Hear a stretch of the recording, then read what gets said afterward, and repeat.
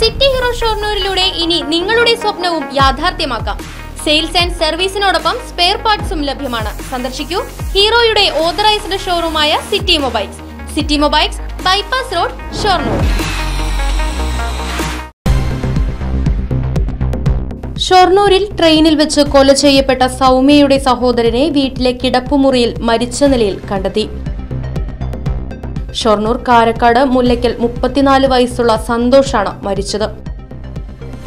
ഇന്നുച്ചയ്ക്ക് ഒന്നരയോടെയാണ് സംഭവം വീട്ടുകാരുടെ ശ്രദ്ധയിൽപ്പെടുന്നത്. ഇന്നലെ രാത്രി ഒൻപതരയോടെ കിടപ്പുമുറിയിൽ വന്ന് കിടന്നതാണ് സന്തോഷ്. ഇന്ന് ഉച്ചയായിട്ടും വാതിൽ തുറക്കാത്തത് കണ്ട് അമ്മ അയൽവാസിയുടെ സഹായത്താൽ വാതിൽ തള്ളി തുറക്കുകയായിരുന്നു.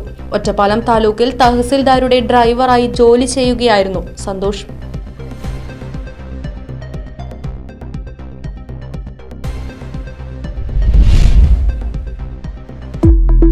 ഫർണിച്ചർ വിലയാണോ പ്രശ്നം? പകുതി വിലയ്ക്ക് ഫർണിച്ചറുകൾ സ്വന്തമാക്കാൻ ഒരു അവസരം അതും ഇ എം ഐ സൗകര്യത്തോടു കൂടി ദുബായ് ഫർണിച്ചർ ബസ് സ്റ്റാൻഡിന് സമീപം ഓട്ടുപാറ വടക്കാഞ്ചേരി.